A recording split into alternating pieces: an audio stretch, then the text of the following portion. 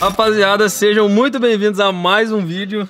E seguinte, quem tá acompanhando essa nossa saga, tentando fazer o nosso MK3 funcionar, a gente tá aqui, acabamos de receber uma nova versão do Anderson Dick. É, ele mandou pra mim aqui de testes.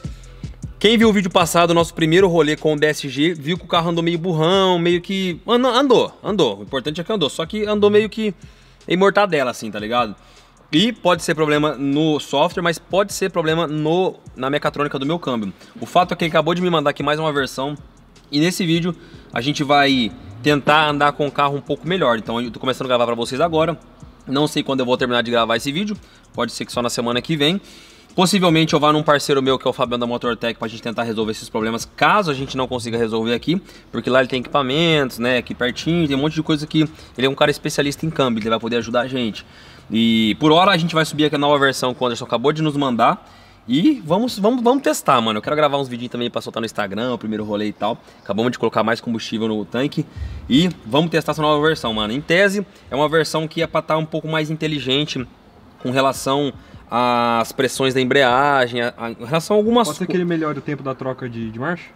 Pode ser, mano. Eu não, não tô muito esperançoso, não, mas é o começo da evolução, então já chega naquele like, chega no comentário pra gente aí, rapaziada. E partiu pra mais um episódio da novela. Mano, tentando fazer o nosso MK3 VR6 4x4 com DSG rodar. Tá aqui terminando a atualização, vamos subir e vamos dar uma voltinha ali fora. Ó, oh, rapaziada, essa versão nova que a gente subiu no, carro, nem fez o carro andar. Eu voltei pra versão anterior pra ver se vai andar. E aí, dessa forma, a gente consegue, tipo eles saberem o que eles mudaram lá e que não deu certo, entendeu? Vamos ver se agora, se ele andar para frente é porque alguma coisa, assim, de fato eles já conseguiram fazer um carro andar na Alemanha, então pode ser que seja um problema exclusivamente do meu carro e, e obviamente que deve ser, mas como são às vezes mecatrônicas diferentes, né? Então tem que saber, tem que chegar uma solução para todas. Ó, se andar é porque essa versão nova não casou muito bem.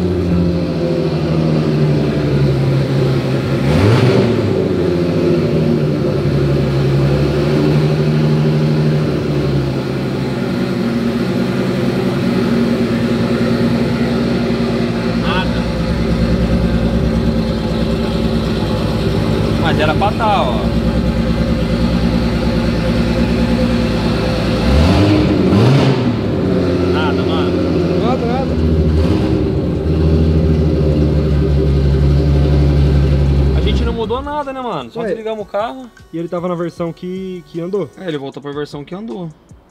Que estranho, velho. Deixa eu ver uma parada aqui. Pode ser que seja isso. 60.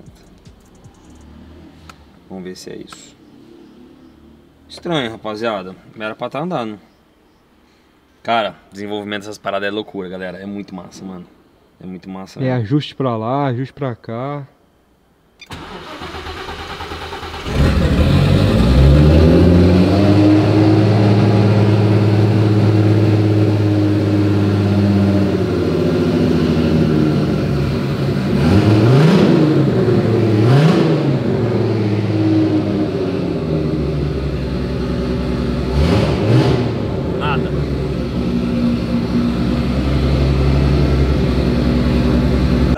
Dia 18 do 10, GR Corolla 0km mais a Hilux pode parar na sua garagem. Não perde tempo não, clica no link da descrição.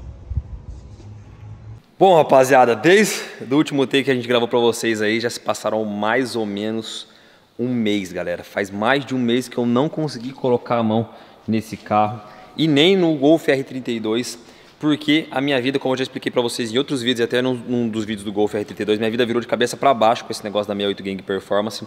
Então, a timeline, né, a, a, ordem cronológica de algumas coisas, a partir de agora vai começar a não fazer muito sentido, tem horas no canal, tá galera? Já vou avisando isso vocês. Por quê? Por conta de que, às vezes, né, esse conteúdo que a gente grava, às vezes demora um pouco para para acontecer e acontecem outras coisas que a gente tem que soltar antes, então por isso que vocês talvez tenham sentido um pouco de falta dos conteúdos desse carro aqui. Eu esperei gravar uns 3, 4, 5 vídeos para poder soltar para vocês já meio que em sequência, assim como eu fiz com os vídeos do vilão. Espero que vocês estejam gostando desse formato, né? Assim como os vídeos do R32 também. Mas não é que eu abandonei o projeto não, tá galera? É porque realmente é, faz mais de um mês que eu não consegui colocar a mão nesse carro aqui por conta dessa loucura que eu estou vivendo e eu peço que vocês tenham paciência e se acostumem um pouco aí, fechou rapaziada? Bom, seguinte, aqui está a nossa HRV Estamos preparando ela para ela ir pro Rio de Janeiro, mano. A ganhadora é do Rio de Janeiro e o carro vai embarcar hoje para lá, então já avisei vocês no Instagram, já avisei em outros vídeos também do canal que, vai que já apareceu ou vai aparecer e tô avisando vocês nesse vídeo aqui agora também, tá? Vocês que às vezes compram um número das nossas ações e às vezes não, não tem tempo de acompanhar da live, não vê os stories, fica perdido, então vocês podem ver aqui no, no aqui nos vídeos do canal, fechou rapaziada? Agora a gente tá com a nossa nova ação que essa bugou tudo, fi. Corolla GR mais Hilux, rapaziada. Os dois, mano. GR, GRzão 0km. Pode ser seu pelo valor de uma coca. Só clicar no link da descrição, fechou? Bom, seguinte, galera. É, é, a gente suspeita que realmente a mecatrônica esteja com problema. Então, o que a gente vai fazer? Vamos partir agora para uma cidade aqui pertinho. Lá no Fabião, meu parceiro Fabião da Motortech. E se pá, ele tem uma mecatrônica lá. A gente vai trazer. Vamos colocar aqui e vamos fazer o teste, mano, porque possivelmente é, nada do que a gente fizer ia funcionar se a mecatrônica realmente estiver com problema. Pra quem não sabe, a mecatrônica. Bom, quando a gente for buscar lá, eu explico pra vocês, fechou, rapaziada? Bora que bora, começa mais um episódiozão. E se Deus quiser, agora rumo a fazer esse carro andar decentemente. Aí, rapaziada, cheguei aqui já no Fabião. E aí, meu nego? Você acha então que a mecatrônica não tá funcionando mesmo? fazer esse teste. Quero passar para você uma já testada. Ó, tem uma, tem uma mecatrônica aqui, rapaziada. Isso aqui, pra quem não, não entende, mano, é, a mecatrônica é basicamente ela é o cérebro do câmbio DSG, tá ligado? Ela que comanda tudo, é, ela que comanda tudo, ela que dá as, as atuações, tudo, né, Fabião? É. Ela faz tudo, Ela, basicamente. ela é um módulo integrado, né? É, Chama-se mecatrônica porque ela tem uma grande parcela da parte eletrônica englobada nela. E a mecânica parte, também. E a parte hidráulica é, é toda fornecida por ela também. O, quando você faz remap, galera, o remap que a galera fala, remapeia isso aqui tudo, ó, tá ligado? O, o remap vem aqui e ele muda, ele muda a forma como isso aqui controla o câmbio, entendeu? Pondo um mapa, um mapa para você que eu uso no meu S3. porque Aham. A relação de marcha que você está usando lá é a mesma que a minha. E já tem launch acoplado, kickdown já está inutilizado, pressão de embreagem vai quase 16 bar, cada um. Já tá no tocha já. Tá no jeito. Tá, teoricamente pode ser que eu coloque lá e já funcione, não? E Se tiver toda, toda a parte eletrônica certa e os betas estiver comunicando certinho lá, vai funcionar. Ah, moleque! Que massa, mano. O Fabião ele vai me ensinar aqui agora, galera, como que eu vou fazer pra trocar isso aí lá, entendeu? Se caso a gente colocar e tudo não der certo, talvez a gente tenha que trazer daí amanhã o carro aqui pra ele. A gente põe no guincho, traz aqui. Mas aparentemente a gente vai conseguir resolver com isso aqui, ó. Aparentemente a minha mecatrônica lá tá, tá meio zoada, entendeu? A primeira vez que eu tô vendo um módulo de mecatrônica na minha vida, velho. Depois que ele terminar aqui eu mostro pra vocês certinho. Então, aqui a gente faz o seguinte, a gente gravou, por, eh, grava-se por duas etapas. Memória flash e a memória pronta. E aí depois a gente faz a identificação dos dois, caso checksum, e faz a identificação total do, do software. Então já entrou aqui, ó, que é uma, uma transmissão 02D. E o arquivo aqui, ó, é o mesmo que eu uso no S3, que é o final 13R, que é os câmbios do Passat VR6. Ou Passat C, os câmbios mais fortes que tem dentro do aqui o, o launch, a troca de marcha tá pra quanto? 8 mil. 8 pau? É, o meu, meu vai girar bastante. É, o launch é como eu falei pra você, o launch ele vai até o limite de 8 mil giros, mas o que vai Limitar é, é o- limitar é a RPM da, que, que da própria Fiotec que vai fazer. ficar estranho esse carrinho Eu espero que funcione nele. Eu espero que funcione. Meu Deus do céu, Ansiedade vai é ficar mil, massa, velho. Hã? Ansiedade a mil. Vai ficar muito massa, velho. Ver o bagulho girar 8 pau. Vai ficar bonito o barulho, hein, mano? Eu tenho quase certeza que era mecatrônica. É. Não, show de bola. Porque as for. betas já, a gente pode falar, né, mas já estão funcionando. É, já tá- aqui já- rodando. já saiu, É, já. as betas já estão rodando. Aham.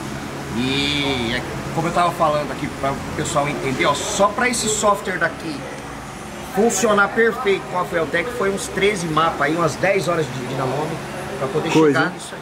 Não, e aí depois é bola. na pista que vai tirando o pelo, né? Saber aonde a gente põe um pouquinho mais de pressão de embreagem, Embreagem, ou aham. tira um pouquinho. Vai largar. Vamos testar lá, Sério. molecada. Partiu. É, rapaziada. Aí que mora o problema, meus amigos. Ó, vamos abrir a mecatrônica aqui, eu vou mostrar pra vocês certinho como que ela é. Mas, mano, talvez a gente vai sofrer pra tirar uma e colocar a outra, velho. É aqui mesmo que pediram. Olha só, rapaziada. Ela fica aqui dentro, ó. Meu Deus do céu, velho. aqui? É. Será que vai Tamo- precisar tirar a frente? Então. Tamo ferrado.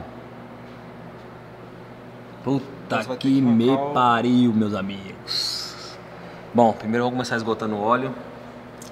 Nossa, se tiver que arrancar coisas aqui pra frente, vai estar tá me enrolado, hein, galera. De verdade.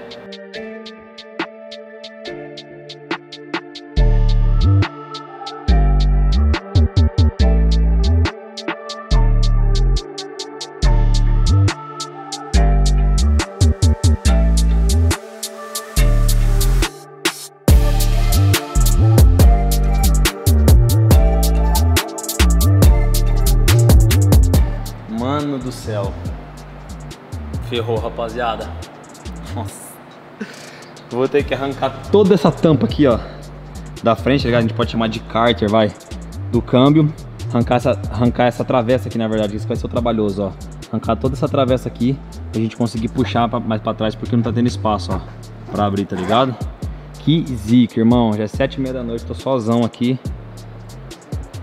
E eu vou me ferrar pra fazer isso, mano. No.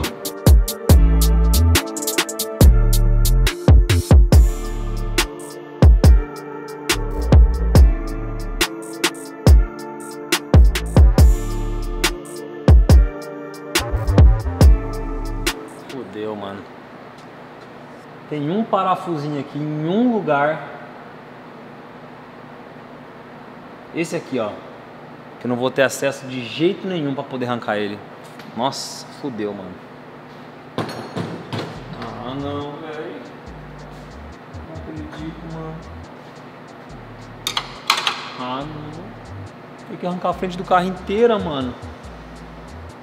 Não. Não é possível, velho. Ah, não. Não, vou ter que achar outra solução, velho. Não vou nem fudendo, vou colocar a frente do carro inteiro, nem fudendo. Esgotar água do radiador, desmontar. Não, não, não, não, nem fudendo. Ah, rapaziada, aparentemente consegui arrancar, mano. Deu um trabalho do caramba. Tipo, vocês não estão tá ligados, não tem acesso nenhum. Porém, eu consegui esfrouxar ele um pouquinho e cara, com a parafusadeira eu consegui tirar. Só que na hora de colocar, vai ser o verdadeiro B.O. Mas eu me preocupo depois. Espero que eu tenha arrancado tudo.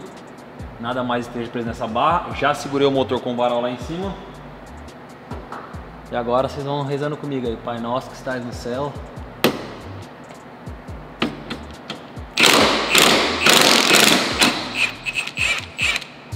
Opa. Descendo demais, não gostei. Vamos baixar o motor. Vamos baixar o carro, quer dizer. E apertar um pouquinho mais o varal.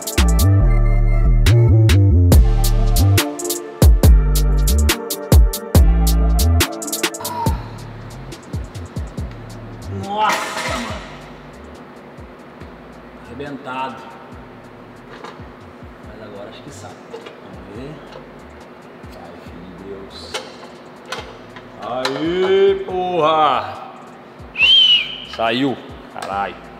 Vou lavar a mão, vou mostrar pra vocês como que é a mecatrônica no carro, fechou?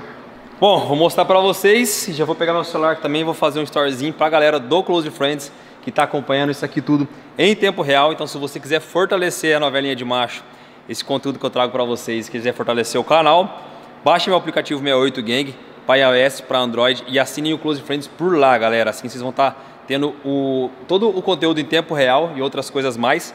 E também vão estar tá fortalecendo a nova linha de marcha aí, fechou? E bom, antes na verdade de eu mostrar para vocês, queria lembrar vocês que estão precisando de pneus, carro, moto, caminhão, vão utilizar qualquer coisa, utilizem o meu cupom lá na Pneu Store, que é Faustino68, tudo junto e tudo maiúsculo. Fechou, galera? Bom, é o seguinte, ó, a mecatrônica é isso aqui, né? Que a gente mostrou para vocês lá no Fabião. Mas colocada no câmbio ela fica desse jeito aqui, ó. A minha, se eu não me engano, deu problema. Eu não sei se o nome disso aqui é... O que, que é isso aí? Se é uma bobina, se é um atuador, o que que é, tá ligado? Se eu não me engano, são atuadores. E tem um atuador específico e que eu posso, ach... posso arriscar que seja um que tenha, tá meio enferrujado ali em cima, tá ligado? Mas, é... pelo código de erro, ele deu que é um atuador lá em cima, não lembro como que era o número dele. Por enquanto eu ainda não manjo muito de mecatrônica, agora eu vou começar a me envolver mais e fatalmente logo logo eu vou estar entendendo mais. Mas é isso, vamos soltar os parafusos aqui, tirar uma e colocar a outra, mano. Graças a Deus que eu não precisei desmontar a frente do carro. Mecatrônica fora, dá uma olhada nessas duas peças aqui, galera, ó. Aparentemente é uma bobina. Uma bobininha que deve fazer parte de algum atuador. Se liga, olha só, também enferrujado, tá vendo? Então Pode ser que essa mecatrônica também realmente tivesse velha, entendeu? Tivesse ruim. E olha só como é que é o câmbio sem a mecatrônica, galera, ó. É uma placona, tá vendo? Então a partir daqui que ele faz as atuações, entra óleo por aqui, ele ele ele tipo, imagino que ele deva fechar algum circuito para dar pressão nas embreagens, entendeu? Eu acho que isso aqui deve ter algum pino que tipo assim, a o câmbio fica jogando óleo, na hora que quer engatar, ele ele tipo fecha o circuito, daí o óleo não passa e dá pressão nas embreagens, entendeu? Eu imagino que deve ser mais ou menos desse jeito. Bom, tá aí. Agora eu vou colocar outra e vir montando tudo para ver se vai dar certo ou não, rapaziada. Mas isso aqui, ó, me deixou um pouco otimista por estar tá vendo que a peça tá um pouco velha, mesmo que ela fique banhada a óleo. Você vê que, ó, não tá uma pecinha 0 km, tá ligado? Câmbio usado, né, muito tempo, muito tempo. Essas mecatrônicas não costumam dar problema, se eu não me engano, né? Só as do as do Golf 1.4 dá. Mas tá aí, vamos trocar. Meus amigos, 10 e 27 da noite. Trampo aparentemente finalizado. Agora vamos colocar óleo no câmbio, se eu tiver coragem, né? Tô muito, muito cansado mesmo. Vamos colocar óleo no câmbio. E vamos ver se vai funcionar. Tomara a Deus, mano, porque tem que arrancar isso aí de novo. Se bem que se agora não funcionar, acho que não vai ser problema de mecatrônica não, vai ser algum outro problema, tá ligado? Mas tomara que funcione. Bom, rapaziada, chequei tudo. Derramei um tantão de óleo de câmbio no chão, mas amanhã eu vou ter que fazer uma limpeza geral nisso aqui. E eu acho que deu certo, mano. Quase, quase não, na verdade, né? Já são 11 12 da noite, mano. Eu confesso pra vocês que eu gostei, porque eu tô muito ansioso pra ver esse bagulho funcionando, tá ligado? Então não me importei muito de ter ficado até tarde não, embora eu esteja bem cansado. Agora é o seguinte, vamos dar ali na partida, ver se tá tudo ok. Deixar o câmbio esquentar um pouquinho e vamos tentar fazer o aprendizado das embreagens, que já será um belo de um sinal. Eu acho que se conseguir fazer, anda, tá ligado? Se não conseguir fazer, a gente tenta engatar do mesmo jeito e ver se, se dá alguma coisa. Fechou? Mano, se o problema era mecatrônica, com certeza alguma coisa bem cabulosa vai fazer de diferença, tá ligado? Eu acho que vai funcionar. Mas vamos dar-lhe a partida primeiro aqui, deixar esquentando, porque para fazer o aprendizado precisa estar com pelo menos 60 graus de temperatura de óleo do câmbio. Então tá funcionando, filézinho na lenta. Mas eu tenho duas notícias para dar para vocês, rapaziada. A notícia boa e a ruim. A boa é que aparentemente funcionou, né? A ruim é que eu esqueci meu cabo do VCDS lá em Curitiba, na 68 Game Performance. Olha que beleza. Não vai dar para fazer aprendizado das embreagens. Porém, dá para pelo menos a gente tentar engatar o carro já já e ver se vai engatar ou se não vai engatar, entendeu?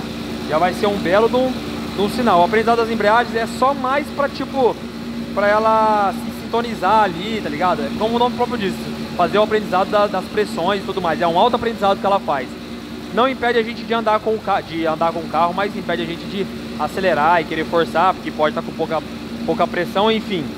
O ideal seria fazer a, o aprendizado, mas para agora aqui eu acho que mesmo sem fazer a gente consegue, consegue ver se funciona ou não. E a gente corre atrás de um cabo amanhã daí para fazer. Vamos lá então rapaziada, partiu testar. Primeiro sinal, se a gente engatar e mudar alguma coisa na marcha lenta que dá uma pesadinha. Ó, o primeiro bom sinal, se a gente engatar aqui a marcha e ele querer andar, querer pesar qualquer coisa, já é um belo de um sinal, tá ligado?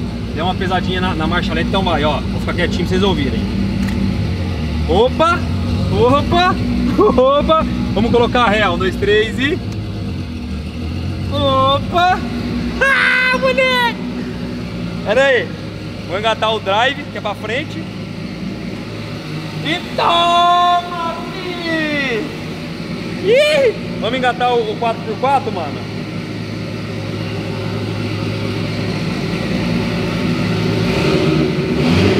Ah, tá desconectado. Verdade. Mano, dormiu, viado. Ó, agora eu vou engatar. Vou parar de. Mano, dormiu, rapaziada. Você é louco. Aí. Agora é o seguinte. Ó. Neutro, vamos ver se vai engatar a ré que antes não engatava. Não sei se vocês lembravam. Ah, meu irmão! Nossa, vamos arrancar do elevador, viado. Vamos ver se ele vai sair do elevador, mano. Você tá maluco, viado? Temos um DSG agora, caralho! Porra! tá no neutro? Mano, funcionou, galera. Puta que pariu, mano. Funcionou, velho. Não dá pra acreditar nisso, mano. Que maravilha, velho. Que maravilha. Caraca, mano. Até vontade de chorar, velho. É trabalhoso, velho. É trabalhoso, rapaziada. Mas na hora que nós vemos esse bagulho andando, girando quase oito pau, vai ser lindo demais, mano. De verdade. Vamos descer no elevador, porque assim, no elevador, qualquer pressãozinha que der nas embreagens vai, né? Vamos descer, vamos tirar os braços do elevador, vamos tentar sair com o carro, tá ligado? Vou deixar filmando aqui, ó, pra vocês. Vamos tentar sair com o carro e vamos ver se vai dar certo, mano. Se a gente conseguir sair com o carro, já vai ser... Vou deixar filmando aqui pra vocês, galera, no tripézinho. E a gente vai tentar sair com o carro. Se a gente conseguir sair com o carro do elevador, é um belo de um sinal que deu muito certo, muito certo mesmo. Tipo, eu já tô 99,9% de esperança, tá ligado? Aquele 1% vai ser só se o carro sair do elevador. Vamos lá então, galera. Nossa, eu tô muito cansado, mano. Mas eu acho que não só eu, como vocês também esperaram muito por esse momento. Puxa, filho! Ah. Todo mundo com a mão pra cima aí! Mandando energia positiva!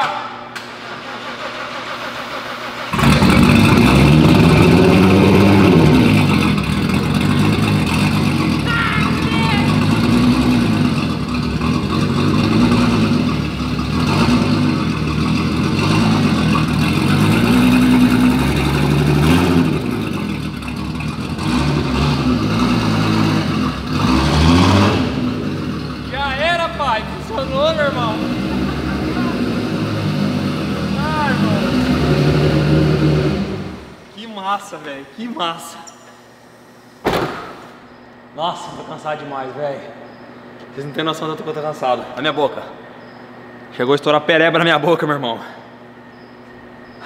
Funcionou, mano. Que massa, velho. Que massa. Funcionou.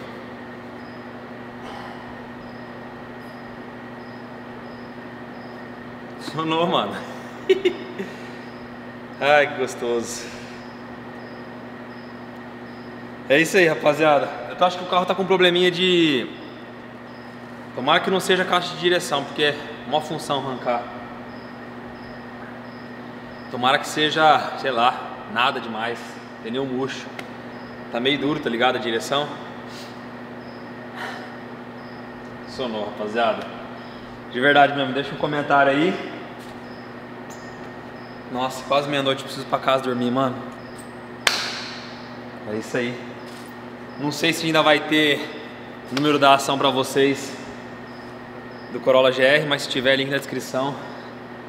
E até o próximo vídeo, rapaziada. Mano, eu tô sem palavras, viado, de verdade. Eu quero só ver os comentários de vocês. O bagulho funcionou, mano. Era mecatrônica. aí eu tenho que mandar uma mensagem pro Papai Dica ainda, né? Pera aí. Ele não vai estar acordado agora, mano. Mas nós vai mandar amanhã e eu vou gravar pra vocês. Tamo junto, falou pra vocês. Fui!